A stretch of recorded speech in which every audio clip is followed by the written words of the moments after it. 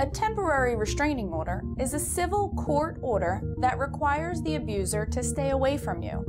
The abuser cannot go to where you live or work or have any in person, telephonic, or electronic communication with you.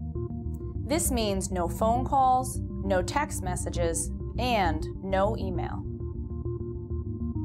A temporary restraining order can provide you possession of a shared residence, possession of a car, custody of shared children, or emergency support.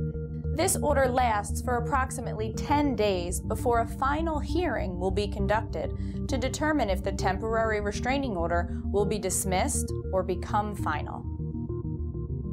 If you need legal advice or representation, you can see if you are eligible for our services by calling 1 888 LSNJ Law or completing our online intake at www.lsnjlawhotline.org.